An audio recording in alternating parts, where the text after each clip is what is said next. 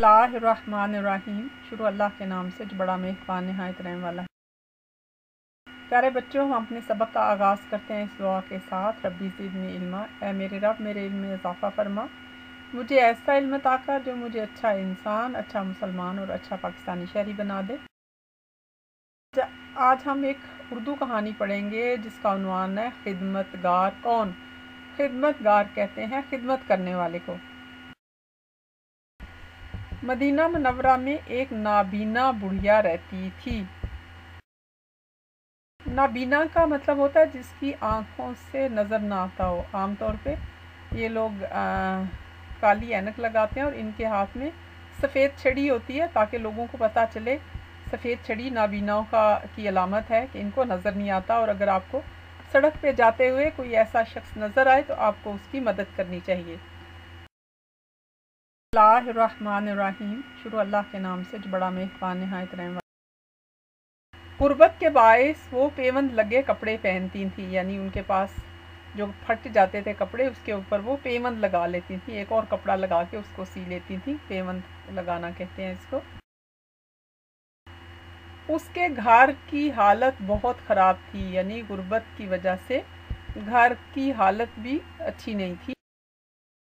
घर में हर तरफ़ कूड़ा क्रिकेट दिखाई देता था, यानी गंद फैला होता था। घर में जगह जगह जाले लटकते थे, जो घर साफ़ ना हो, वहाँ पे मकड़ी जाले बना देती है। उसके घर में कोई नहीं था जो उसकी मदद करता।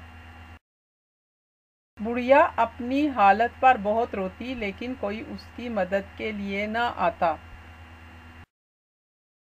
एक दिन एक नेक शख्स का वहाँ से गुजर हुआ। बुढ़िया बेबसी की हालत में चारपाई पर पड़ी थी। सारा घर कूड़ा करकट से भरा हुआ था। पानी का घड़ा भी खाली था। उसे ये देखकर बहुत अफसोस हुआ। उसने घर को साफ़ किया। घड़े में पानी भर दिया। बुढ़िया का हाथ मुँह धुलाया। उसे खाना खिलाया। बुढ़िया का असा साफ़ करके चारपाई के पास रख दिया। अब वो शख्स बिला नागा, वहाँ आता बिला नागा, यानी रोज़ बगैर नागा किए हुए, और खामोशी से घर साफ़ करता घड़े को पानी से भरता और बुढ़िया को अपने घर से लाया हुआ खाना खिलाकर वहाँ से रुखसत हो जाता। बुढ़िया खाना खाकर अल्लाह का शुक्र अदा करती और नमाज़ पढ़कर इस शख्स को दुआएँ देती थी। यानी अगर कोई शख्स आपके साथ भलाई करे तो हमें उसका भी शुक्रिया अदा करना चाहिए। जो शख्स लोगों का शुक्रगुजार नहीं होता, वो अल्लाह का शुक्रगुजार भी नहीं होता। उस शख्स ने ना अपने बारे में बताया और ना बुढ़िया ने उससे कुछ दरियाफ्त किया। एक दिन हज़रत उमर रज़ी अल्लाह अनहो का वहाँ से गुज़र हुआ। वो बुढ़िया के पास आए। उन्हें हैरत हुई कि नाबीना होने के बावजूद बुढ़िया का घर कैसे साफ़ सुथरा है और घड़े में पानी कहाँ से आता है। हज़रत उमर के पूछने पर बुढ़िया बोली, मैं उस शख्स को नहीं जानती।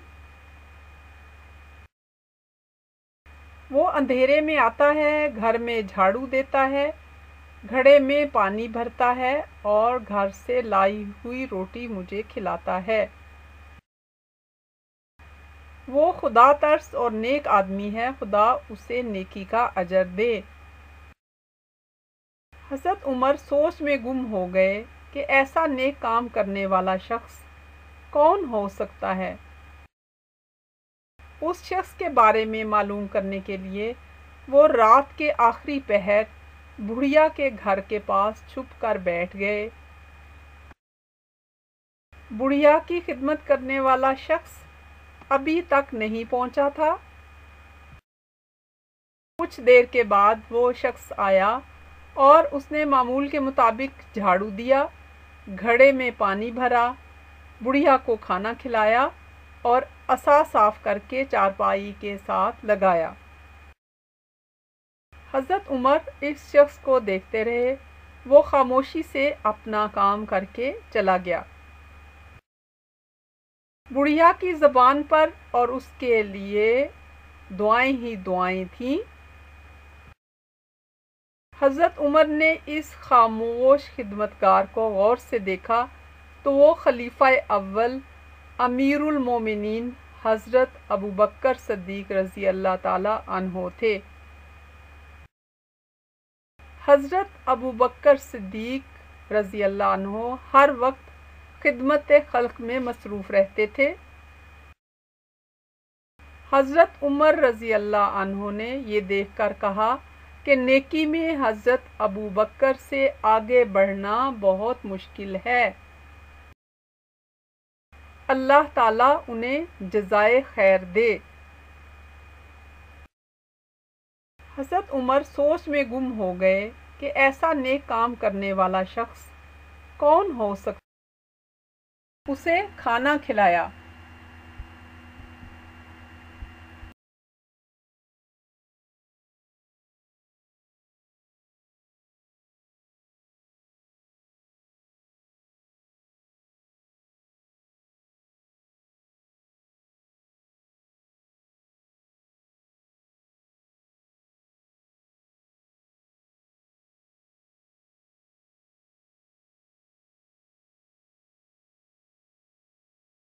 कुरान मजीद को तर्जुमे के साथ पढ़ें और इसके अलावा करीम वसल्लम की बताई हुई दुआएँ याद करें, अपने नबी की सुन्नतों की पैरवी करें।